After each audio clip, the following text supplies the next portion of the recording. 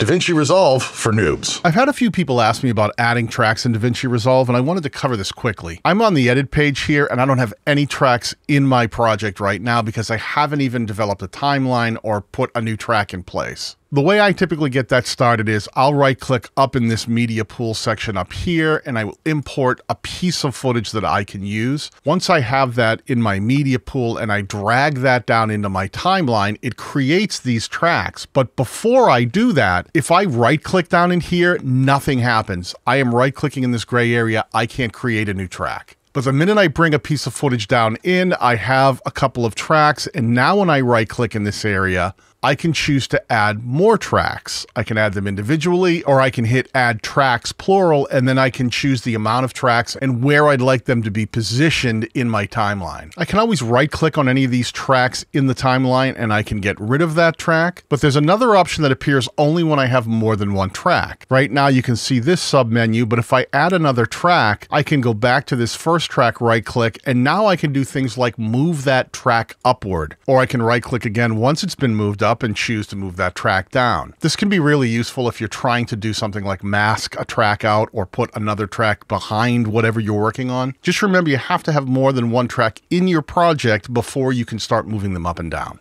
One more cool thing I like to do is when I have a lot of tracks in my project and maybe I didn't end up using them all, I can right click anywhere in these track assignments and I can just choose to delete all the empty tracks that I'm not using. It won't affect the other tracks. It won't move anything in your timeline. It'll just get rid of empty tracks that might be cluttering up your project.